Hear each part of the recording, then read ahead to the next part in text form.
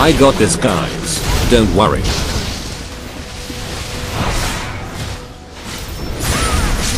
I killed her. Let's get out of here. OMG she is still alive. No problem. I will stun her. A summoner has So close. Let's get out of here. How should I proceed? No worry, she is dead in a second. Just one hit. It can't take long anymore. In the trap. I'm reading her like a book. She is over the wall.